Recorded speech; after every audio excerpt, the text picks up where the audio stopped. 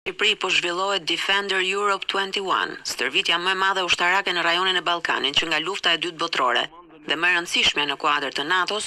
Rusia dhe Serbia nisën dhe ato një stërvitje të përbashkët ushtarake pranë Beogradit, si për të dëshmuar vendosmërinë e Moskës për ruajtjen e influencës së vet në rajon. Ministritë serbe dhe ruse të mbrojtjes thanë se trajnimi i rreth dyqind trupave speciale do të përfshijë shkatërrimin e simuluar të një formacioni të paligjshëm ushtarak, gjuajtjen me municione të vërteta dhe një situatë sulmesh antiterroriste. Serbia, anëtare e partneritetit të NATO-s për paqen dhe që kërkon zyrtarisht anëtarësimin në BE,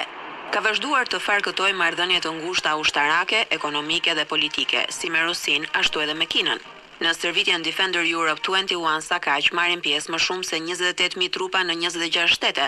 Shqipëria ka rol kryesor në këtë stërvitje si vend mikpritës dhe stërvitor, duke vënë në dispozicion disa baza ushtarake ajrore, detare dhe tokësore.